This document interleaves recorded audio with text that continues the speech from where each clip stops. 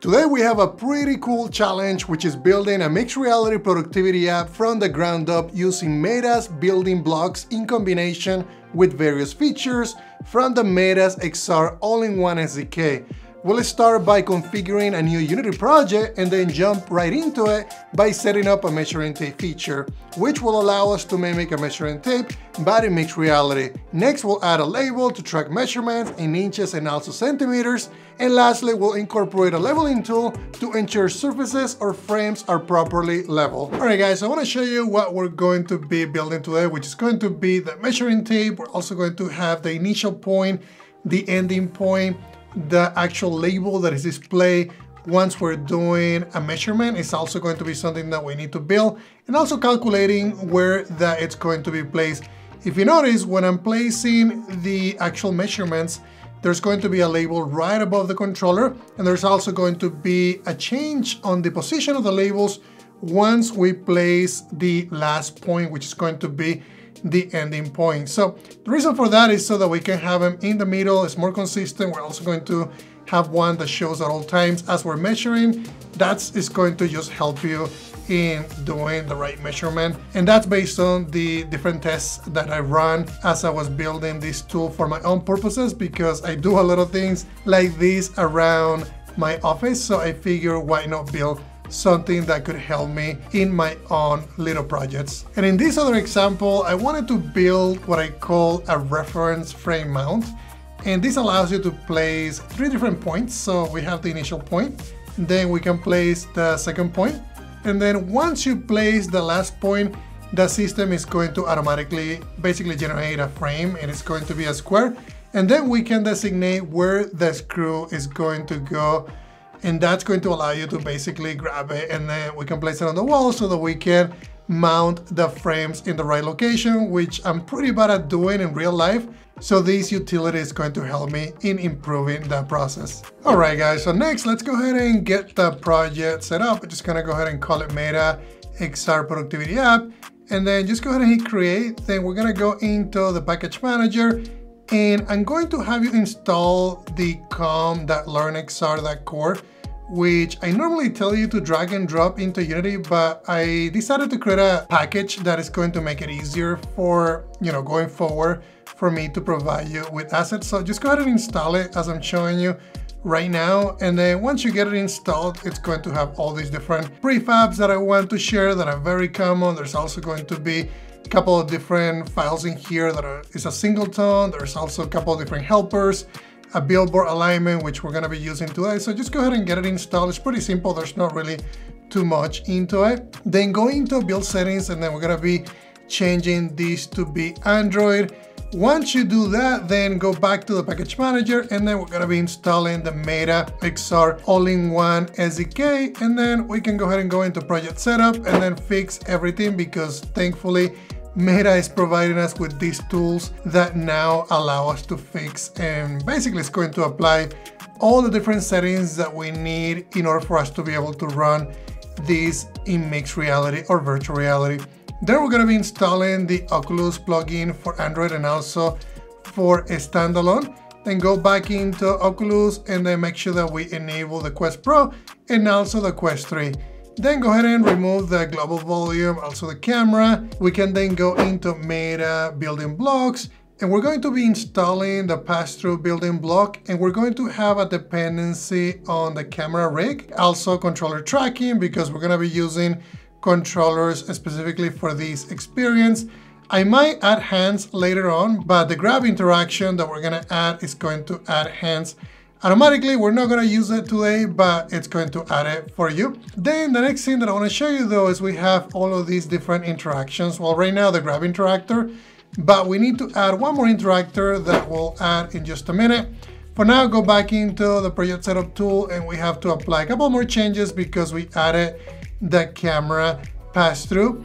Then go into the packages and we're gonna be adding the controller poke interactor the reason for that is because I want to use this component to be able to interact with the user interface. We're going to be building a very simple user interface today, but it's going to basically walk you through that process so that you understand it. Then if you go back into the camera rig, you're gonna see all the different dependencies that this building block has. In addition to the Quest 3 and Quest Pro was enabled, we're gonna be changing these to only use controllers just for now. And then make sure that you go through and look at the settings that were enabled automatically for us. You may be asking, how are we going to be using all of these features, right? Well, pass-through is purely used to see the real world through the Meta Quest 3 pass-through cameras, also referred to as mixed reality.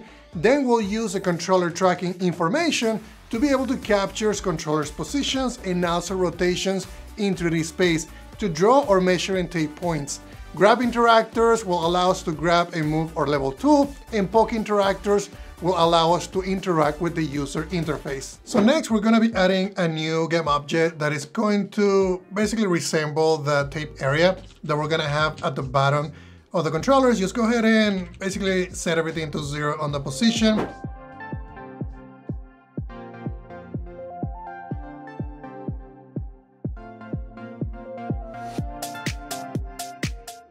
Then go ahead and create a new folder, which is gonna be basically the prefabs folder. We're gonna have multiple things in here. And then we're also going to be setting the z-axis to zero. And it's going to be right now set at the, basically at the pivot point of the controller area, but that's okay. We're gonna be basically dragging and dropping those next to the controller tracking left and next to the controller tracking right. That's going to allow us to use the parent as the position of this component. And then we can offset it a little bit by just changing the position and also the rotation. You guys can see it here at the pivot point. So let's go ahead and just adjust the x-axis a little bit here and also the y-axis. And then we're also going to offset it on the z-axis so that we have it at the very bottom. And then if you get closer to it a little bit, let's rotate it to be just about 130 on the negative axis. And then just go ahead and mirror it so we have it on the right controller as well. So that's gonna help with the, basically as a marker for the measuring tape. Then we're gonna be creating a new game object and then zero out everything here. This is gonna be for the measuring tape feature. Then we're also gonna need a script. So we're gonna start with creating a new folder and then call it a script. And then in here, we're gonna be creating a script with the same name. It's gonna be measure tape feature. First, we're gonna be creating a range, and this is because I want to be able to have a slider on the tape width. Then make a field serializable here for the tape width. Then we can initialize it right now to be 0.01.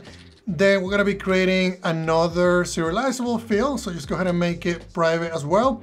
And then this is gonna be for the button that we're going to be using to activate that measuring tape. So when you press it, it's going to start drawing. And then when you let go of that button, it's going to basically stop drawing the line render. And then also material, which is going to, for now, we're gonna set it to be that default line material. Then create a game object that is going to basically hold the measurement info prefab. That's going to be the actual label that we're gonna be using to display the distance. Then we're gonna be creating another private variable here, and this is gonna be for the left controller tape area and also for the right controller tape area. This is needed so that we know the actual position and rotation of the tape area so that we can start drawing that line render points at that point. And then on the actual method below that we're gonna be creating, it's gonna be private void and then handle controller actions. This is gonna be basically the entry point for the controller actions that we're going to be basically listening to. So we're going to be passing the controller and also the tape area. And then I'm also going to basically listen to the get down here. And then we're going to be passing in the action that we're going to be listening to. And then also the controller that we need to basically listen to on the input. And then we're also gonna do the get. So get down is gonna be when we press the button, get is gonna be as we're holding the button and then the get up is going to be once we release the button. And we need this because we're going to be keeping track of the points on the line render. We need to draw it, we need to stop drawing it. So this is what this is gonna be used for. So on the update, we can now call into these handle controller actions. I'm gonna bind this to the left touch and also the right touch. That way we can do it either with the left controller or with the right controller and also passing the right tape area. Then we're gonna be creating a brand new method. This is gonna be so that we can basically refactor the code and that we have methods that are responsible for specific areas. In this case, the handle down action is going to be when we're holding, when we first press the trigger button, and then we're also gonna have some for hold and also one when we release. So in this case, we're gonna be passing in the tape area. And then on the case that we're doing actually a get up, when we release the action, I want to basically call into the handle up action. Otherwise, I'm gonna call into the handle hold action. So for now, this is just going to be executing those methods. So we're basically gonna call into those actions, listen for input, and then we have the three different methods that are going to be basically implementing our logic. So the next part is going to be another private variable. This is so that we can keep track of all the different line renders that we're going to be creating. In my case, I'm gonna call it the save tape lines. So think of a tape line as being the actual line render. And then this one is going to hold the last line render that was created. That way I know which points to which line render to basically adjust. So if we go down here, I'm gonna show you how this, how this is going to work. So if we go and create a new method, this is gonna be the create new tape line. This is gonna be the one responsible for basically creating the actual line render that you saw on the initial examples. We're gonna be passing in a vector, which is gonna be the initial position. And then I'm gonna be creating multiple tape lines. So these are going to, they're going to have a specific name. So it's gonna be tape line underscore and then the count. And then you can also designate what type of objects or components this new game object is going to have. Then I'm gonna go into the, the, the last tape line render and then make sure that we get the line render that we just created on the game object. We can also designate here how many points we're going to have. In our case, we're gonna have two different points. It's gonna be the starting point and then also the end point. And then we also need to designate the width of the line. So I'm just gonna set the start width and the end width to be basically the same value. Then we're gonna be basically passing in the material that we're going to be setting through the inspector. In our case, it's gonna be a white color, so we're gonna be passing that tape material. And then for the initial position at index zero, we're gonna be passing in the vector that we passed in through that method. And then we can add this new line basically to our list. Then the handle down action is going to be the one that is going to be passing the tape area, that position. So whatever the controller position is going to be, where the tape area is, then it's going to designate where the starting point is going to be. So the next thing that I need to do though is if we go under the inspector, we need to bind all of our properties in here. So we're gonna do the materials, also the left and right tape area. So now let's go ahead and switch these to Windows, Mac and Linux because we're gonna be testing this with the simulator and you can see now that everything is working successfully. We can draw lines by moving our controllers in the Meta XR simulator. I can also do it with the left controller. And you can see here in Unity that we can also see the line renders and the objects that are created dynamically. Now, if we go back into Unity though, we can also launch this on a different synthetic room. So this is just a different room that I wanted to test with. Now let's go back into Unity and then we're gonna be creating our new, basically it's gonna be the label that it's going to be displaying a distance. So it's gonna use Text Mesh Pro. So let's go ahead and give it a more meaningful name. So we'll call it measurement info. And then we're also going to be offsetting this a little bit because right now it is pretty gigantic. And then let's change the rotation here and also the scale value. The scale value, it's going to be a lot smaller. You can see that now it's starting to look a lot better. So the text for now, I'm going to be using Mark because I want to have some kind of a fading on the text. So you can use Mark. You can also change the value of Mark by applying an alpha value. As you guys can see here, there's a little bit of an alpha value applied to it. And we can also add some padding if you wanted to keep some spacing. I think it just looks a lot better. And the padding is gonna be 2020 10 10. And once you get that going, I don't know that we need the color in there because it's already white, but I'm just gonna put it and, and set the attribute to color. Then I'm going to go ahead and clone the actual font. And then let's go ahead and drop the new font in here by copying and pasting it. And I'm gonna call it underscore tape so that we know that it's gonna be a font specifically for the actual label that we're creating. The reason for that is because I want to change the style of it a little bit. So the font size, let's go ahead and change it a little bit. I'm gonna set these to black. And then we can also change here the alignment. And then I want to change the font and also the outline. So that's why I ended up cloning the text. And you can also change the softness and also this other property in here. It just makes it look a lot better. And the outline is gonna give it, you know, more depth so that we can see it in mixed reality a lot better. It's gonna give it a black outline. You can adjust it as needed.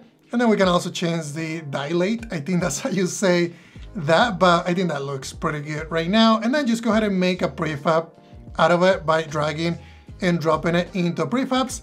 So what I'm gonna do though is I'm gonna go back into the measuring tape feature and then just associate that measuring info prefab. Then we're gonna be creating a new, a new C-sharp script and this one is going to be for keeping track of some of the values for the tape line. This is gonna be the relationship between the lines and also the label that we're gonna have and also some calculations that we're gonna be using. So now let's go ahead and add our new measurement info controller offset. This is so that we can have an offset on the controller. So when we place this label, I don't want that to be on the controller, you know, pivot point. I want to have an offset and this is a value that will work great for that. Then if you go into our list, let's go ahead and use the measuring tape class that we just created. And then we're also going to be getting the last measurement info because we're gonna need to adjust the position of it. Then go back into create new tape line. And then in this case, we're gonna be instantiating our new measurement info prefab. We're gonna place it at zero on the position and also identity quaternion, so basically no rotation. And then in this case, we can get the Text Mesh Pro. Once we have that, I'm gonna go ahead and make it inactive because I don't wanna see that unless we are pressing you know, one of the buttons on the controller. And then we can add the new tape lines. This is gonna change because we have a new type.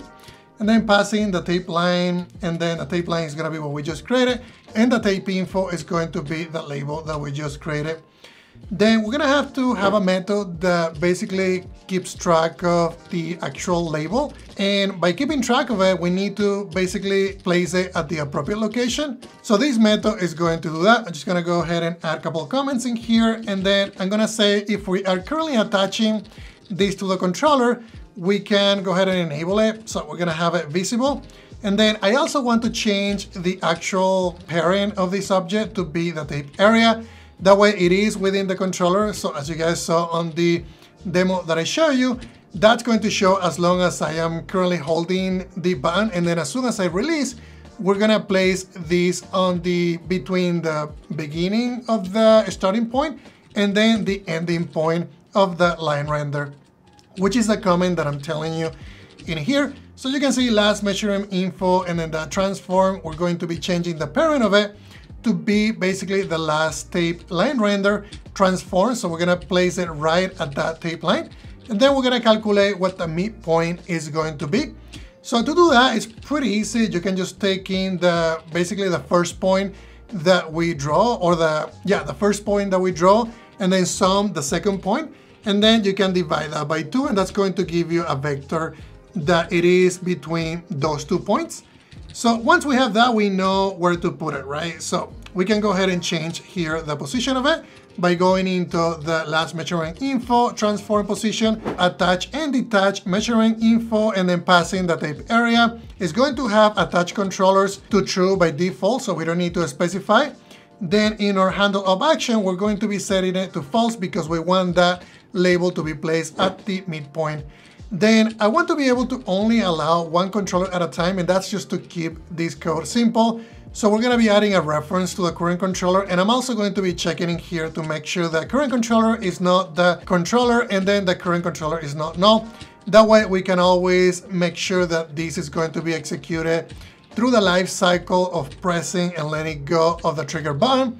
And then the other thing that I need to do though is I need to set it to null on the release of the trigger button. Then you guys can see here that in the simulator, we can now basically draw our lines and then the labels are getting placed correctly. It's gonna be placed right above the controller whenever I'm moving the controller and holding the button. Then when I release the button, it's going to be placed in the middle. Then we need to basically calculate the distance because I wanna show the distance in inches and also in centimeters. So we're gonna be doing a vector calculation. So just to vector that distance and then passing the first position and also the second position. So that's going to give us a distance in meters.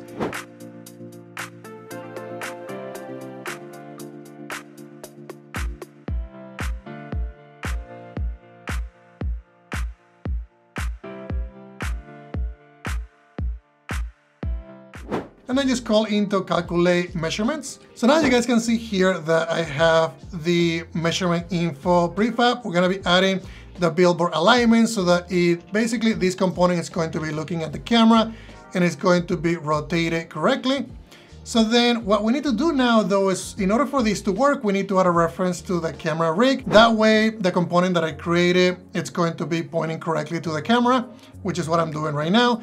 So now if we were to test it though, you can see now that the lines are looking great. The actual labels are changing as I basically move the controller from one position to another. And these are looking great. The other thing that is working right now is the alignment, right? The labels are actually looking at the camera. The camera happens to be the center eye anchor. So that's going to be on my headset and things are working pretty well. So if we were to test it with the simulator by using a different synthetic environment, you can see as well that this is working in here. So I tend to use both, use the actual deployment to a device and then also test it right on the simulator so that way you can get the best of both worlds. And then let's go ahead and clean this up by making sure that we destroy everything on destroy.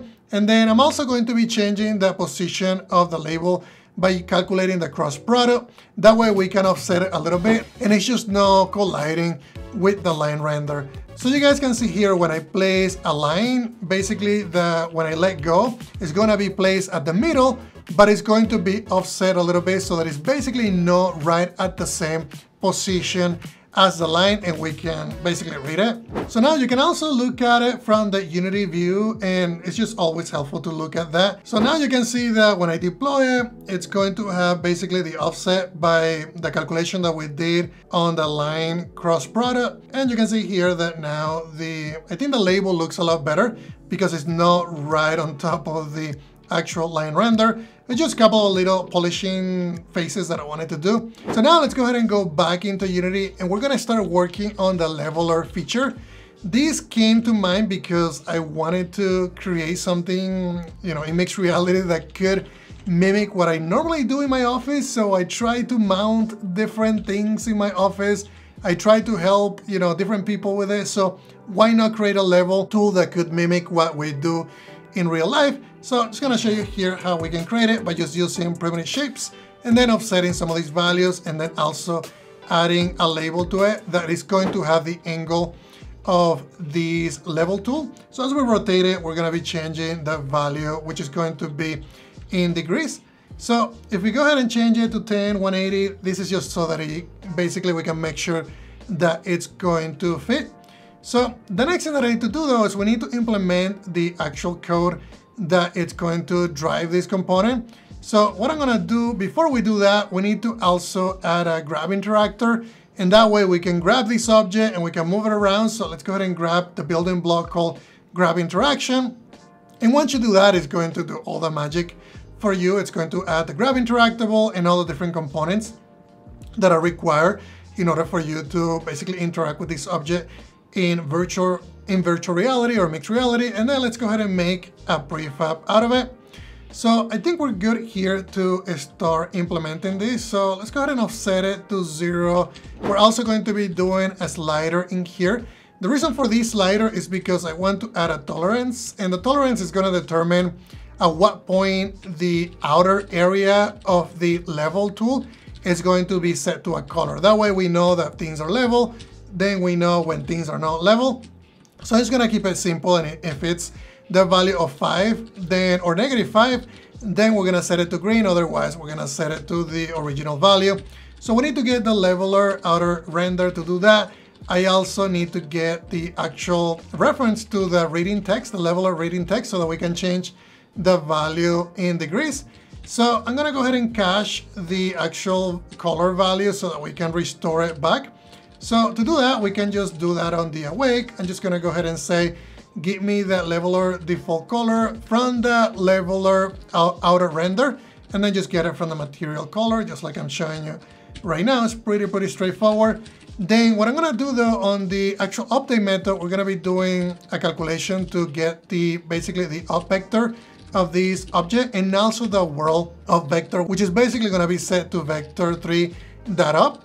And then we can use math f and then round, round to in just to keep it simple. I don't want to decimal points. And then vector 3, that angle is going to give us the calculation that we need to get the angle here in degrees. And then we can also get the cross product of these to be able to basically determine what the sine is going to be because I want to show if we're going to a negative value or a positive value depending on the rotation of the level two. And then I also need to set the text because that's the whole idea, right? We want to see what the angle is and I can also, you know, basically add the degrees angle in here. And I'm also going to be calculating the color here, determining what the color is based on the angle and also the tolerance. So you can add it, you can add more details to this if you want to do, you know, degrees of 180, degrees of 90. But for now, it's just going to be anything between negative 5 and 5. That way we can just keep it simple, but you can extend it and make it, you know, polish it a lot more. So that's how this is gonna work. We just have a couple of serializable fields and then also some calculation in here for the actual degrees and the color of the level tool. Now if we go back in here and we drag and drop the leveler feature, we can start basically associating everything. I'm gonna associate the actual render, also the reading text so that we can basically interact with it from code.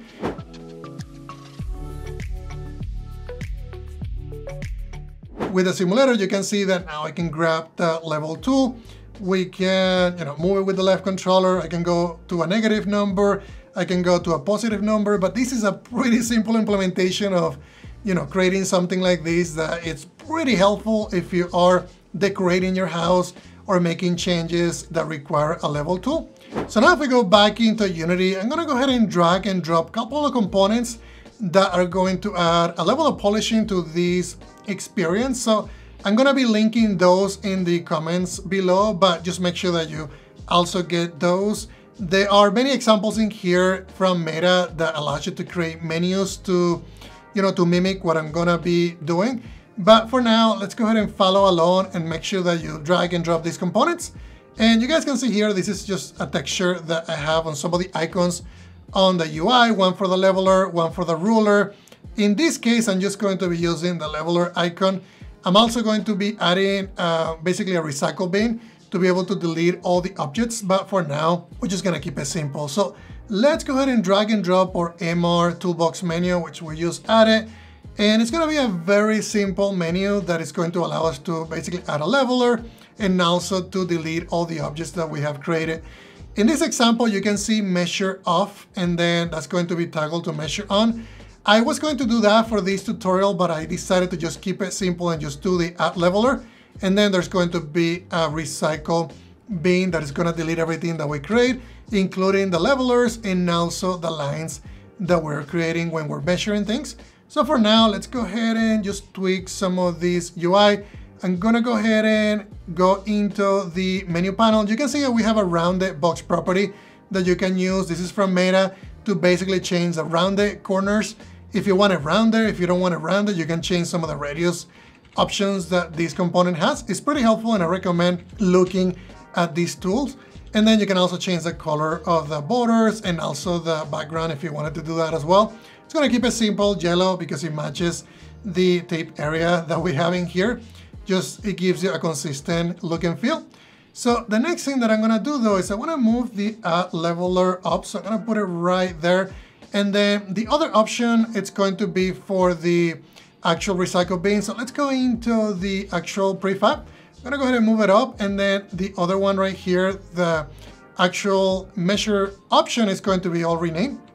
So I'm gonna go ahead and tweak it here a little bit, move it down. We also need to change the values so because it's gonna be, I'm basically repurposing this to be clear all, if you wanted to call it that way. So if you go to material icons on Google, we're gonna be downloading, we can just download this recycle bin and then you can scale it. I'm just gonna scale it up pretty high to a value that I think just looks a lot better. You probably don't need it that high, But in my case, that's what I did. We can change the alpha its transparency, so we have some transparency on the icon, and then we can just clone one of the materials that I had to drag and drop, and then just change the texture to be the delete all icon texture. So you guys can see here, and now we have the right material.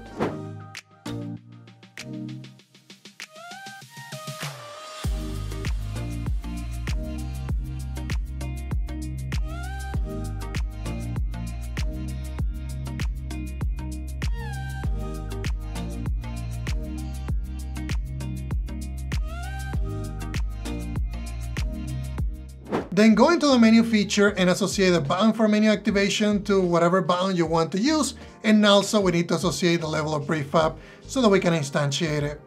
So I'm gonna make it a prefab as well so things are consistent and I think everything looks good here so far.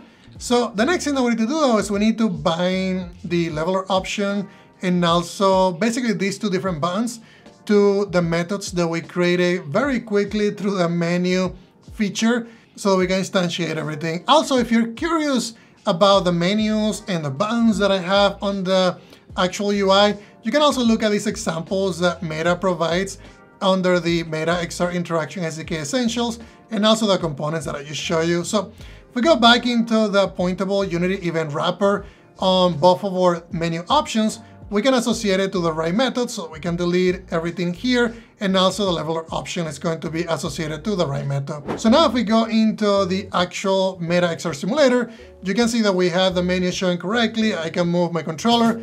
We can place a leveler tool. I can also, you know, place it right on the desk if I wanted to. So you can also rotate some of these, you know, some of these objects if you wanted to. So I'm gonna go ahead and grab it one more time and then rotate it and you can see the color So this is just really helpful to use if you're testing, you know, you wanna test changes pretty quickly. I think the Meta XR Simulator is really, really helpful when it comes to that. So this just gives you an idea of how things work. So now if we go back into the actual device, you can see that now we can place a level tool. I'm gonna place it here on my desk. I'm also gonna rotate it negative 90, or you can rotate, you can rotate it if you wanted to to be 90. But this gives you an idea of the power of creating something like what I created today that didn't really take that much work and that much time. But you can see here, I can measure this box. This happens to be some haptic gloves that I got a long time ago. And also the book here, we can measure it. It's about 10.82 inches. And then I can also measure my tables. And that's how you go about creating a simple productivity application for a Meta Quest 3 device by using building blocks and mixed reality. If you want to learn how to implement multiple controller support, as I show you in today's full demo, consider becoming a patron under the full source code here. Also, huge thanks to all my 16 patrons. And for those of you who haven't subscribed yet, please do so as I plan to keep making small app prototypes where I teach you like we did today. If you guys have additional questions, let me know below and thank you very much for your time.